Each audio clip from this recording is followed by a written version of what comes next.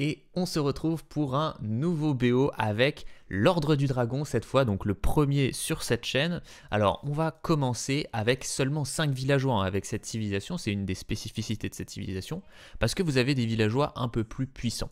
Donc on met ces 5 villageois directement à la nourriture. On va utiliser notre éclaireur comme d'habitude hein, vers l'avant pour aller prendre les moutons sur la carte, etc. Prendre l'information sur son adversaire. Les deux premiers villageois qui vont sortir, ils vont produire tout simplement euh, une mine, enfin ils vont aller euh, chercher de l'or tout simplement. Vous avez des villageois qui coûtent un petit peu plus cher hein, avec l'ordre du dragon, qui coûtent 60 de nourriture, qui prennent plus de temps à se faire aussi, donc ne vous en faites pas, c'est normal d'avoir moins de villageois que votre adversaire avec cette civilisation. Voilà, juste sachez que vos villageois du coup c'est plus grave si vous les perdez, donc l'objectif ça va être de perdre le moins possible vos villageois. Donc là on est parti euh, plutôt sur un gameplay économique avec ce BO, donc on va voir un petit peu comment est-ce que ça se joue. Je vous conseille de faire ça contre des civilisations qui sont pas trop agressives. Après, vous pouvez le faire quand même contre des civilisations qui vous agressent un peu, parce que vous avez quand même la réparation d'urgence hein, qui peut nettement vous aider si vous vous faites agresser. Euh, vous pouvez le faire sur un poste avancé, vous pouvez le faire sur votre second forum, etc. Donc vous avez quand même de quoi vous défendre avec cette civilisation, et ça peut être assez intéressant de le faire tout simplement. Alors, ici, on va créer notre euh, chapelle d'Aix-la-Chapelle, hein, donc comme on fait de l'économie, on part sur la chapelle, et donc on va le faire sur la pierre, le mieux c'est s'il y a du bois à côté, essayez de booster le bois à côté en même temps. Donc j'ai placé du coup mes moutons, hein, comme vous avez pu le voir, euh, bah, quand l'éclaireur est arrivé, j'ai placé les moutons bah, pour qu'ils soient dans la portée en fait de la chapelle d'Aix-la-Chapelle.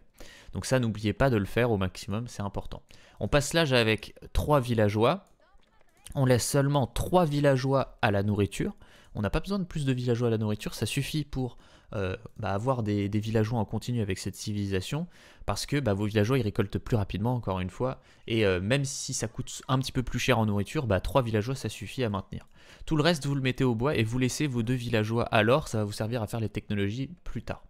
Donc on va avancer un petit peu, et donc voilà, on va essayer en même temps de son passage d'âge, on va essayer de voir ce que fait notre adversaire, hein, s'il va venir nous agresser, s'il est plutôt tranquille, etc., s'il va faire de l'économie aussi ou pas. Donc vous, ce que vous voulez absolument avec l'ordre du dragon, c'est une partie qui dure le plus longtemps possible. Parce qu'en début de partie, c'est pas la meilleure civilisation. Hein. Clairement, en fait, si vous avez un moment où vous êtes plus faible et un moment où vous êtes plus fort, bah c'est clairement en début de partie vous êtes plus faible et en milieu, fin de partie, vous êtes très très puissant avec cette civilisation. Donc une fois que vous êtes passé à l'âge, vous voyez, on a presque 400 de bois.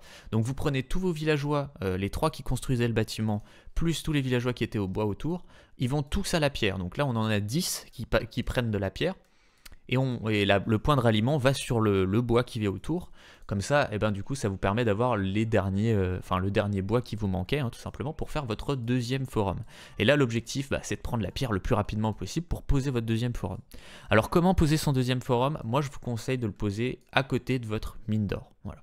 C'est le plus, euh, c'est ce qui vous permettra en fait de sécuriser cette mine d'or, du coup, pour le reste de la partie et cette mine d'or, elle va vous permettre de cliquer vos technologies, de faire des hommes d'armes, de faire voilà, des unités plus puissantes, de passer H3, etc. Donc voilà, vous, vous, voulez vraiment sécuriser cette mine d'or. Pourquoi? Bah Parce qu'elle est, vraiment trop importante pour la suite de la partie. Vous voulez pas rester H2, vous voulez absolument passer H3 assez rapidement quand même avec cette civilisation. Une fois que vous cliquez votre deuxième forum, n'hésitez pas à mettre quand même beaucoup de villageois qui construisent le forum justement parce que bah, c'est un timing où vous êtes euh, bah, très facilement agressable. Alors après, là, on, le construit quand même sous notre, second sous notre premier TC, donc on est quand même assez safe hein, malgré tout. Euh, n'hésitez pas à faire ça, voilà, comme ça, s'il y a une cavalerie légère qui arrive, par exemple, bah, vous avez juste à rentrer ces villageois-là dans votre forum, et puis la cavalerie légère, elle va mourir tout simplement. Hein. vous construisez votre TC de manière assez safe. Donc, vous mettez 7 villageois à la nourriture, et après vous en mettez pas mal alors, et vous allez euh, au bois, pardon, et vous allez pouvoir cliquer un moulin, faire brouette assez rapidement. Là, on met 5 villageois alors, et on va rester sur 5 euh, pour la suite de la partie. Donc, il y aura normalement un TC qui va aller sur la nourriture et un TC qui va aller sur le bois. Et on va commencer au fur et à mesure à aller chercher les ressources un petit peu sur la carte pour pouvoir justement avoir une bonne source de nourriture, pour pouvoir commencer à produire des unités, pour défendre ce deuxième TC justement, parce que peut-être que notre adversaire va vouloir nous attaquer par rapport à ce deuxième TC. Et d'ailleurs, n'hésitez pas à utiliser votre éclaireur pour voir quel type d'unité fait votre adversaire. En fonction de ça, bah, vous allez produire différents types d'unités. Ici, on va faire les trois bâtiments, on va faire une caserne, on va faire un camp de tir à l'arc et une écurie, mais en fonction de ce que fait votre adversaire, bah, vous pouvez adapter tout ça. Hein. S'il fait beaucoup de piquets, par exemple, bah, vous faites beaucoup d'archers, etc. Vous avez l'idée des contres militaires, et si c'est pas le cas, n'hésitez pas à aller regarder ma vidéo justement sur les contres militaires. Donc, on va aller chercher pas mal de nourriture, on va chercher aussi un peu de pierre. Alors, parce que ça, va être assez intéressant. Vous allez justement aller construire des postes avancés un petit peu euh, bah, sur la carte pour aller chercher les, les cerfs, le sanglier, etc. Et donc c'est toujours intéressant d'avoir un petit peu de pierre pour cliquer bah, les technologies, hein, fortifier le, poste avancé, les, les archères potentiellement, ou même euh, l'emplacement des springales si vous passez H3, etc. Donc c'est vraiment très très intéressant. Et vous voyez les ressources elles montent quand même relativement vite hein, quand on a 2 TC avec cette civilisation.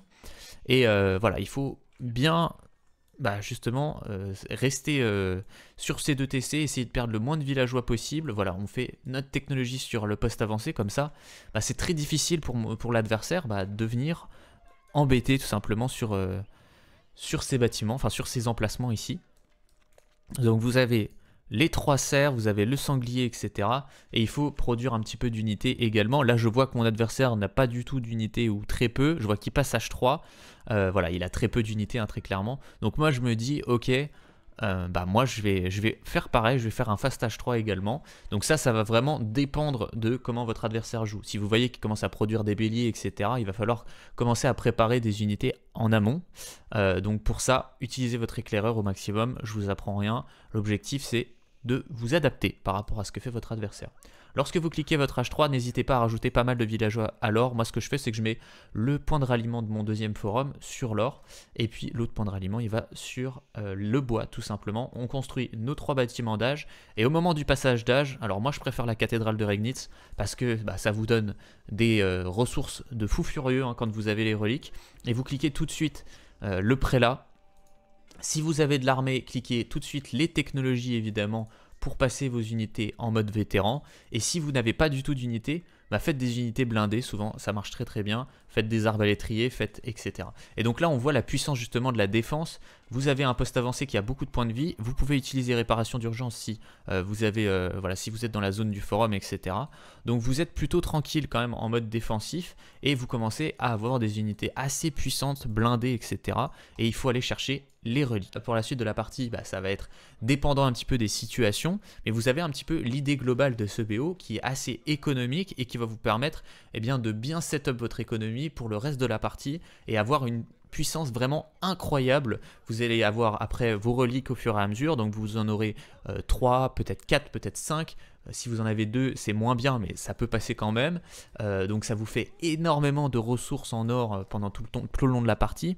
Donc vous avez vraiment la possibilité d'avoir des unités de fou furieux. D'ailleurs, quand vous passez H3, n'hésitez pas aussi à faire deux forges hein, pour commencer à faire vos technologies. Et une autre possibilité aussi, c'est de faire très rapidement un H4 pour chercher aussi le bâtiment, euh, le palais de Swab hein, qui vous permet d'avoir tout simplement des villageois très très rapidement. Voilà, c'était tout pour ce BO. N'hésitez pas à me dire ce que vous en pensez dans les commentaires. N'hésitez pas aussi à poser vos éventuelles questions. Et si vous voulez découvrir comment un pro joue l'Ordre du Dragon pour vous en inspirer, n'hésitez pas à regarder cette vidéo où je commente le gameplay de Beastie qui joue l'Ordre du Dragon.